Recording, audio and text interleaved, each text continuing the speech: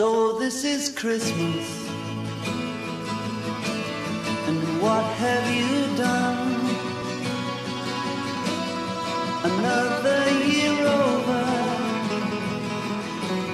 And a new one just begun. And so this is Christmas.